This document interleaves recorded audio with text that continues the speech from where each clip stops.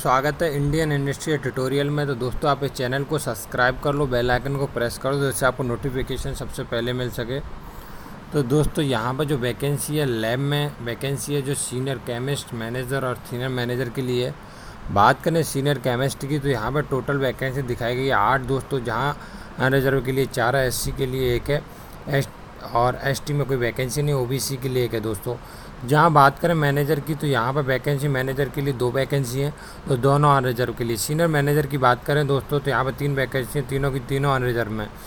दोस्तों, बात करें ट्रांसपोर्टेशन तो ट्रांसपोर्टेशन ऑफिसर्स के लिए वैकेंसी है, जहाँ पर पाँच वैकेंसी टोट तो दोस्तों, इसमें रिज़र्व के लिए चार है और एक ओबीसी के लिए दोस्तों। बात करें मेडिकल की तो दोस्तों, यहाँ पर मेडिशन के लिए तीन वैकेंसी दो दो वैकेंसी रिज़र्व के लिए, एक वैकेंसी ओबीसी के लिए। बात करें पेडिया ट्रैक्स से तो यहाँ पर टोटल वैकेंसी दो यहाँ पर एक वैकेंसी रिज़र्व में दोस्तों एक वैकेंसी ओबीसी में। दोस्तों बात करें ईएनटी e की तो यहाँ पर एक वैकेंसी तो एक जो अनरिजर्व में दोस्तों बात करें नेक्स्ट जो डेंटल की तो यहाँ पर दो वैकेंसी दोस्तों, जो एक अनरिजर्व में और एक एस में दोस्तों।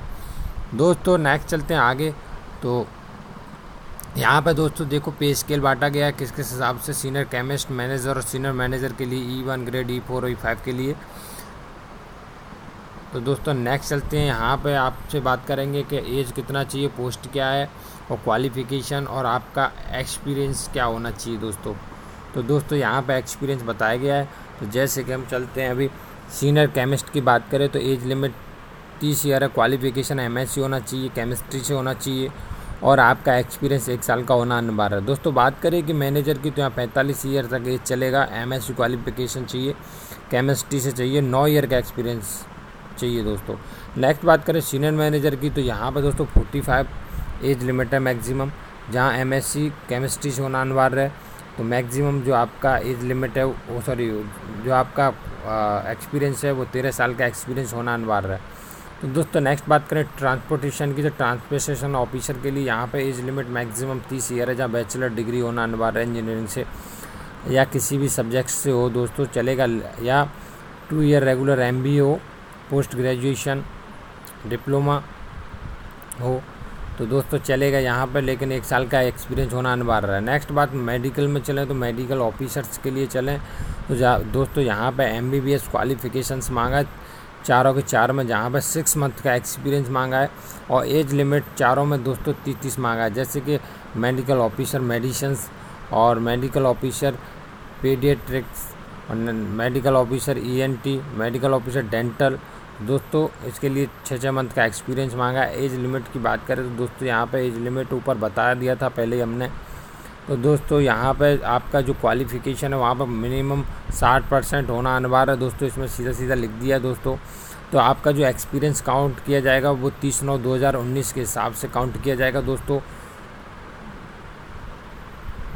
पे स्केल दोस्तों ऑलरेडी यहाँ पर लिखा हुआ है।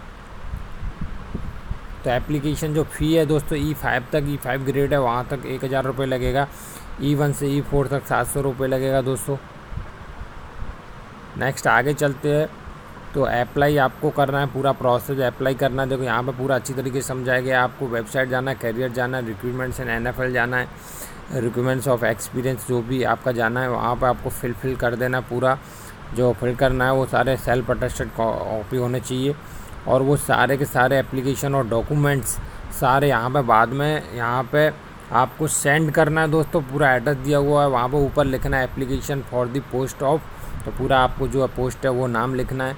2019 फिर बाद में यहाँ पर भेज देना है एड्रेस पे दोस्तों। देखो सारे डॉक्यूमेंट्स क्या क्या हैं तो वो डॉक्यूमेंट्स यहाँ पर दिखाए गए हैं दोस्तों। क्या क्या आपके पास डॉक्यूमेंट्स होना चाहिए एक्सपीरियंस सर्टिफिकेट जो भी क्वालिफ़िकेशन जो भी आपकी मार्कशीट है, वो सब होना चाहिए। तो आप यहाँ पे, आपका यहाँ पे अगर सारे क्राइटेरिया आप फुलफ़िल कर लेते हैं तो आपको यहाँ पे पर्सनल इंटरव्यू के लिए बुलाया जाएगा दोस्तों। यहाँ personal interview direct selection personal interview से है। तो जनरल इंस्ट्रक्शन से लिखी हुई हैं तो दोस्तों आप पढ़ सकते हैं ना। तो आप बात करें दोस्तों लास्ट में जो बात करें तो आपका जो लास्ट डेट है दोस्तों, वो जो आपको यहाँ पर जो लास्ट डेट दिखाया गया, वो सोलह ग्यारह दिखाया गया है दोस्तों। तो सोलह ग्यारह से पहले पहले ये पूरा आपको प्रोसेस कर देना है।